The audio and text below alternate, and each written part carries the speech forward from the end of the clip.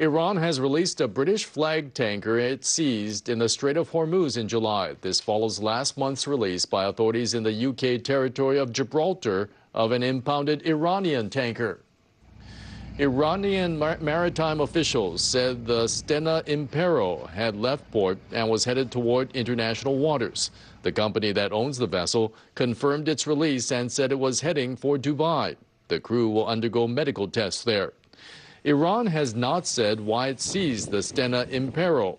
UK Foreign Secretary Dominic Raab says the seizure was illegal and part of a pattern of attempts to disrupt freedom of navigation.